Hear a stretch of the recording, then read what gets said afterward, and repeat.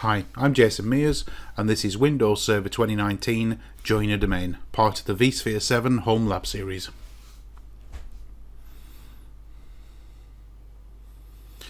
So we're going to right click on properties on the machine to get to um, advanced system settings and basic information and we're going to click on the computer name, uh, domain and workgroup settings and from there we can add the machine to a domain. And the domain we've set up in previous videos is called activedirectory.local. So again, that's from system properties and computer name stroke domain name. So the first time I've gone to do this, um, it hasn't been able to find activedirectory.local. And usually it would find it first time. So just try that again.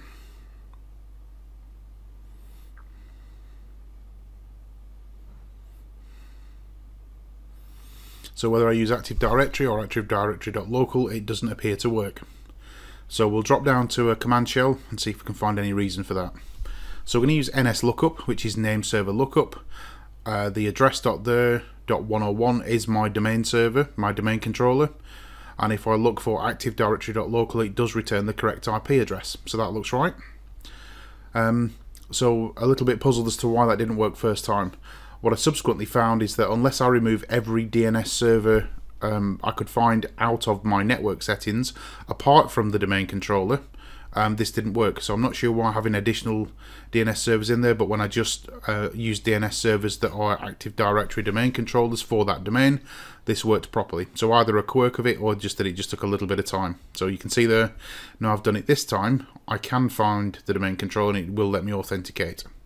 So if in doubt if it doesn't work first time, just make sure the only DNS servers you've got listed are the ones that are the actual domain controls for the domain. And once you've joined the domain, maybe add them back in again afterwards.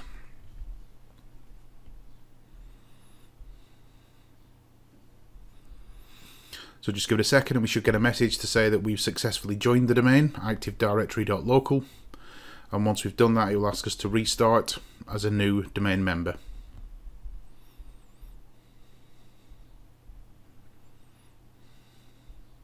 You can see there it says default domain policy, so now it's joined. I've just paused it briefly there because that whizzes by quite quickly.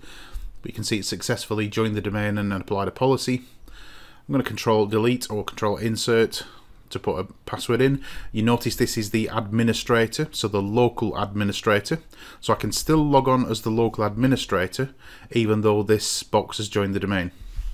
We'll just have a quick look at the settings there. And then what we're going to do we're going to log back out again and then log back in again as the domain administrator. So in this instance we're logged on as just the administrator even though the uh, the local administrator even though it's a member of the active directory.local domain. So we'll restart this box and then this time when prompted we're going to log on you'll be able to see there it's now active directory backslash administrator. So we're still logging on as the administrator but the domain administrator not the local administrator.